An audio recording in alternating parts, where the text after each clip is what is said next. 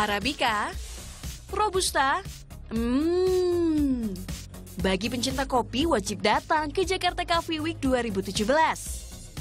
Digelar di Hype Pantai Indah Kapuk, Jakarta Utara, pengunjung disambut dengan aroma kopi dari 130 tenan di acara ini. Berkonsepkan one-stop shopping, festival ini suguhkan beragam jenis sajian kopi, biji kopi, alat dan mesin pembuat kopi, hingga mendatangkan petani kopi dari 15 provinsi di Indonesia. Tak hanya itu, para barista pun sajikan kopi racikan terbaik mereka dalam acara ini. Dengan membayar tiket masuk seharga Rp15.000, pengunjung pun bebas mencicipi ragam jenis kopi yang ditawarkan para barista. Nah, biji kopi beragam aroma dari penjuru dunialah yang menjadi incaran utama para pengunjung. So far sih oke ya karena uh, banyak yang aku juga baru tahu sih tenan-tenan baru dibandingkan yang tahun lalu berkembang banget dan lebih besar sih gitu.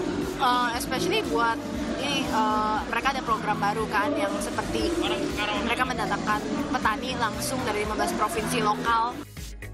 Memasuki tahun kedua digelar, Jakarta Coffee Week 2017 berlangsung dari tanggal 8 hingga 10 September. Syarifah Rama, Falatua Harahap melaporkan untuk NET.